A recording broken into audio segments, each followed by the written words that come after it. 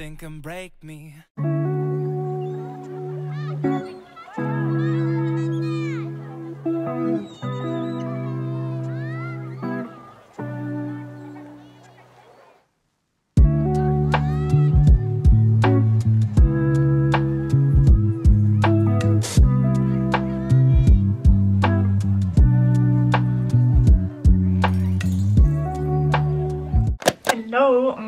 Willkommen zu einem neuen Video von mir.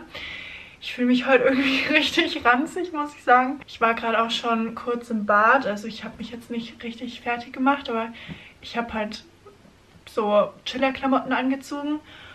Und irgendwie hätte ich, glaube ich, heute schon meine Haare waschen müssen. Aber heute ist eigentlich nicht mein Haarwaschtag, das ist alles jetzt durcheinander und ja, ich wollte nämlich eigentlich heute Abend zum Tanzen. Das wurde aber jetzt spontan abgesagt. Und jetzt habe ich mich geärgert, weil dann hätte ich einfach jetzt Haare waschen können. Egal. Ich mache das jetzt einfach morgen. Heute mache ich dann später einen Sleekzopf, dann passt es schon auch. Ich habe mir jetzt gerade einen Kaffee gemacht. Wir haben heute Samstag und es ist Wochenende logischerweise. Ähm, ich hatte jetzt meine ersten beiden Arbeitstage. Ich könnte mich übrigens daran gewöhnen, zwei Tage arbeiten, zwei Tage wieder frei haben. Aber ja, nächste Woche wird es auf jeden Fall anders ausschauen. Im Hintergrund stehen auch noch die Blumen, sind richtig, richtig schön. Die versüßen mir echt voll meinen Tag. Heute früh habe ich erstmal ausgeschlafen. Bis 8 Uhr konnte ich nur schlafen, aber ja, war auch schon besser. Ähm, und habe in meinem Buch gelesen. Ich lese im Moment von Colleen Hoover für immer ein Teil von dir. Ich bin jetzt auch fast fertig. Ich brauche nur noch 30 Seiten. Und ich muss sagen, also ich mag das Buch, aber es catcht mich jetzt nicht so. Ist denn da passiert?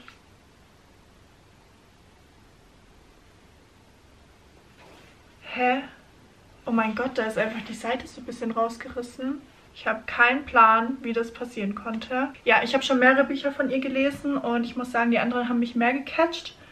Aber es ist trotzdem ein gutes Buch. Also man kann es gut lesen, aber mich catcht die Story irgendwie nicht, so muss ich sagen. Aber jetzt bin ich bald fertig und ich habe mir auch eigentlich als Ziel gesetzt, dass ich jeden Monat im Jahr ein Buch lese.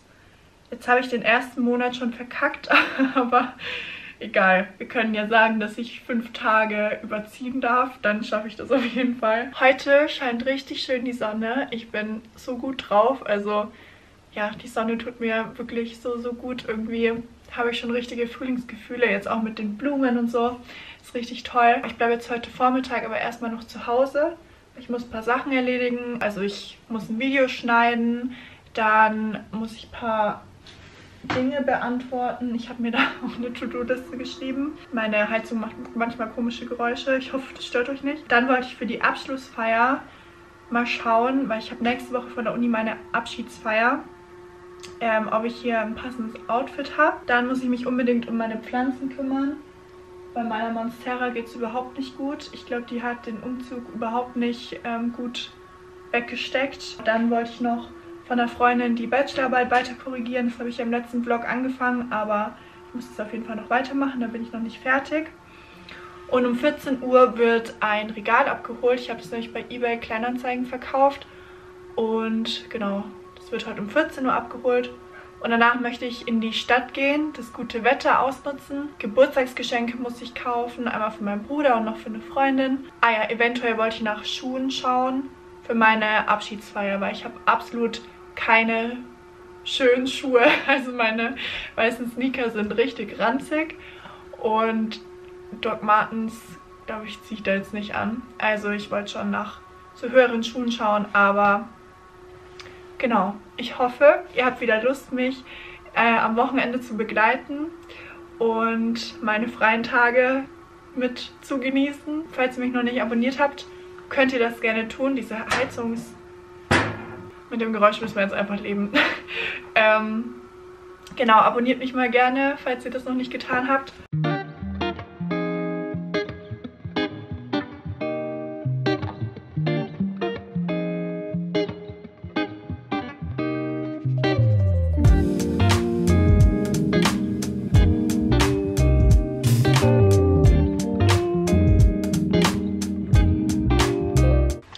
Leute, ich habe mich jetzt gerade mal umgezogen in das Outfit, was ich mir irgendwie so im Kopf überlegt habe für diese Abschlussfeier.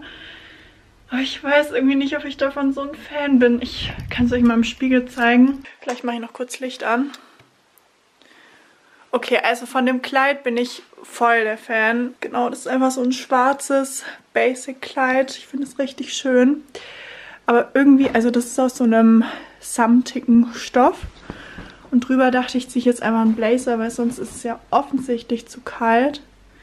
Aber das weiß ich irgendwie jetzt nicht, ob ich das so fühle. Der Blazer ist halt auch fast so lang wie das Kleid und von hinten würde man dann wahrscheinlich denken, dass ich nur den Blazer anhab. Ja, was sagt ihr? Ich will halt eigentlich auch jetzt nicht so viel Neues kaufen, dafür, dass es jetzt einfach nur eine Stunde so ein, also es geht halt auch nur eine Stunde, aber ich brauche dafür auf jeden Fall höhere Schuhe, obwohl halt auch was farbiges auch schön wäre. Hm, ich weiß irgendwie nicht so ganz. Vielleicht sieht man bisschen mein Stativ. Sieht man hier nochmal im Licht den Materialunterschied ein bisschen mehr, dass ihr so versteht, was ich meine. Also das ist halt aus so einem Samtstoff und der Blazer ist halt so ein normaler Blazer einfach. Hm. Ist jetzt irgendwie nicht so der Vibe, oder? Ich habe es mir irgendwie cooler vorgestellt. Blöd. Was mache ich denn jetzt? Oder ich ziehe doch eine Hose an. Meine Anzugshose und irgendwie, vielleicht finde ich noch ein schickes Oberteil.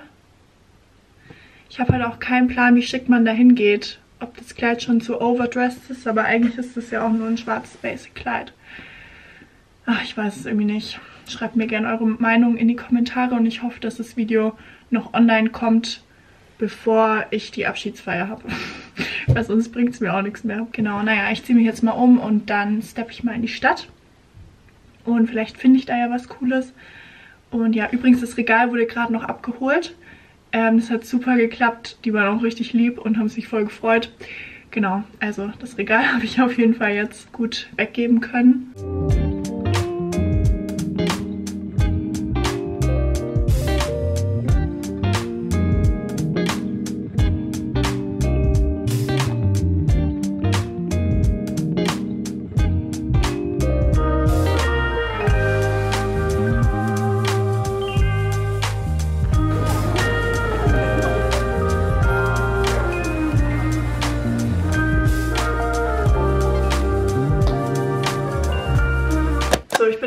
Zurück von der Stadt. Heute war echt so, so viel los. Also, boah, es war eine richtige Reizüberflutung irgendwie. Ich bin jetzt froh, dass ich wieder zu Hause bin. In den Läden musste man auch so lang anstehen, wenn man was probieren wollte oder so. Deswegen hatte ich eigentlich gar nicht so Bock. Also für meinen Abschluss habe ich leider nichts gefunden. Ich glaube, ich bestelle mal auf Naked ein paar Schuhe. Und dann ähm, schaue ich einfach, was ich mit meinen Klamotten da anziehen kann, so die ich jetzt schon habe. Das wird dann schon passen. Genau, ich war dann nur noch im DM und im Edeka. Ich habe ja einmal einen Wein gekauft, weil ich telefoniere später mit der Miriam, also mit meiner Mitbewohnerin aus Passau. Und genau, irgendwie immer wenn wir FaceTime, dann trinken wir einen Wein dazu. Dann ähm, habe ich eine Avocado gekauft, Reisessig, weil ich möchte jetzt solche Sushi-Sandwiches ausprobieren. Genau, da habe ich ein Rezept auf TikTok gefunden. Und ich probiere gerade so neue Rezepte aus und vielleicht kann ich dann auch mal wieder ein Food Diary machen. Beim DM habe ich einmal, wenn mein Bruder das jetzt schaut, dann bitte kurz weghören, weil ich habe ihm für seinen Geburtstag was von Coabach gekauft. Das mag er richtig gern. Einmal so eine ganze Packung ähm, Vollmilch, Schoko und dann noch sowas to go ähm, in weißer Schokolade weil das hatten sie nicht mehr in der Packung. Und ich weiß, dass ihm das auf jeden Fall richtig gut geschmeckt hat. Mm, dann habe ich ein Trockenshampoo gekauft, Hanfsamen, weil da habe ich auch ein Rezept für einen Smoothie gesehen und die sollen voll gesund sein. Und dann noch eine Pinzette und ein Nagelklipser. Yes, das war mein Einkauf. Ich werde jetzt einmal den Sushi-Reis schon mal kochen mir dann was Gemütliches anziehen. Und heute wird nur noch gechillt.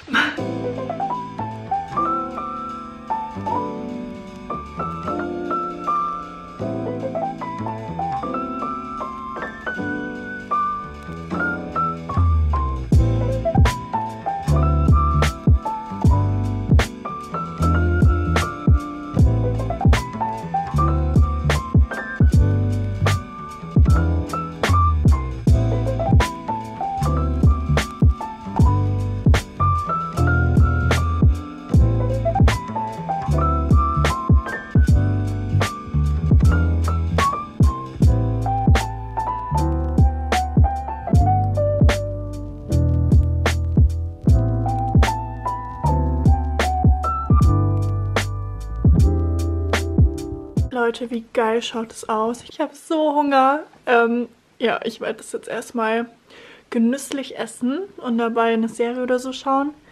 Boah, aber es hat echt richtig gut geklappt. Jetzt hoffe ich noch, dass es gut schmeckt, aber ich denke schon. Da kann man ja eigentlich nichts falsch machen.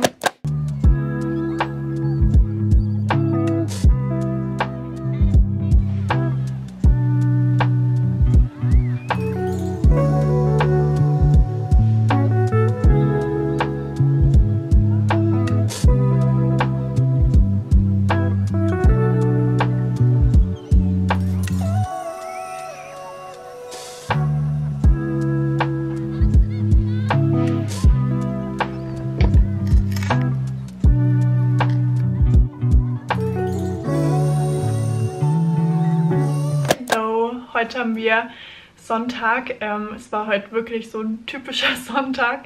Richtig schön. Ich habe erstmal ausgeschlafen. Ähm, und dann habe ich das Buch zu Ende gelesen. Also am Ende hat es mich dann doch ein bisschen gecatcht. Ich fand es richtig emotional. Ich habe sogar geweint. Ich weiß nicht, ich habe richtig mitgefühlt. Aber wie ich schon gestern gesagt habe, zu 100% hat es mich jetzt trotzdem nicht gecatcht. Also ich kann andere Bücher von ihr auf jeden Fall mehr empfehlen. Und dann waren von Marlena, also von meiner Mitbewohnerin, ein paar Freunde da und wir haben zusammen gebruncht. Das war richtig schön. Einfach vier Stunden. Also die sind gerade auch erst gegangen. Genau, und jetzt will ich noch ein paar Sachen erledigen, bevor jetzt morgen die neue Woche beginnt. Also einmal mein Video noch zu Ende schneiden, ähm, Wäsche waschen, weil ich wollte heute früh eine einstellen. Aber die Waschmaschine war besetzt. Aber es war richtig, richtig schön. Ich wollte halt eigentlich auch schon wieder zum Sport. Aber jetzt ist schon zu spät dafür. Jetzt ist der Kurs schon, also hat der Kurs schon angefangen. Ähm, ja, also mit dem Sport klappt es gerade irgendwie noch gar nicht.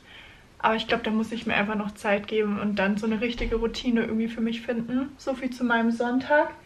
Ich räume jetzt hier erstmal nochmal schnell mein Zimmer auf, dass ich so frisch in die neue Start äh, Woche starten kann. Aber der Brunch, der war wirklich so, so schön und alle Mädels waren so lieb und ja, wir hatten auch so geiles Essen. Boah, also ja, können wir meinetwegen öfter machen, muss ich sagen. Übrigens, schaut mal hier, meiner Monstera geht's echt gar nicht gut. Wenn ihr irgendwie wisst, was mit der los ist, schreibt mir mal gern, weil eigentlich gieße ich sie schon genug, aber auch nicht zu viel. Ich habe das Gefühl, sie hat ähm, den, den Umzug überhaupt nicht gut vertragen, weil die Blätter wurden auch innerhalb von zwei, drei Tagen einfach so. Und okay, den will auch nicht beachten, den muss ich dann noch rausbringen. Ähm, genau, und das hier ist jetzt auch so und das hier wird auch so. Ich habe irgendwie Angst, dass die jetzt komplett stirbt. Wirklich, ich habe keinen grünen Daumen, aber der Monstera ging sonst immer gut. Und jetzt weiß ich irgendwie nicht. Also falls ihr irgendwie wisst, was mit der los ist, schreibt mir gern.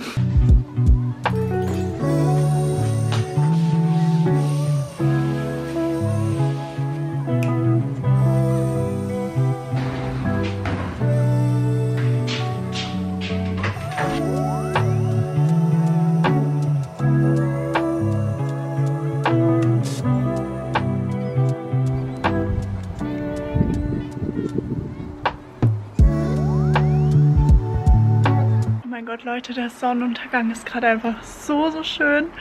Ich habe jetzt einfach das Fenster aufgemacht, habe mich hier auf mein Fensterbrett gesetzt und werde ihn jetzt ein bisschen anschauen. Es ist echt so pretty, oh mein Gott.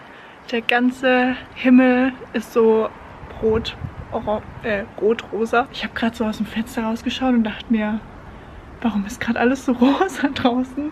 Es ist echt richtig, richtig schön. Oh mein Gott.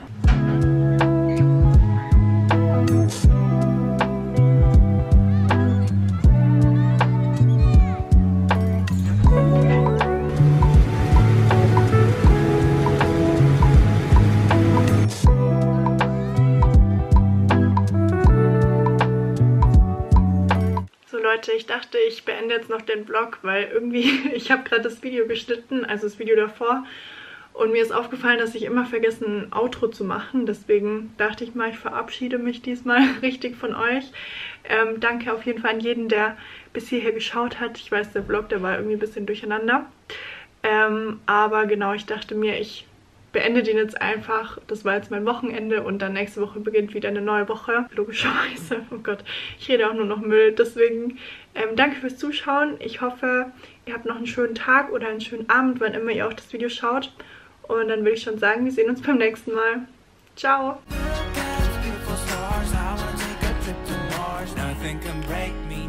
Nothing can break me.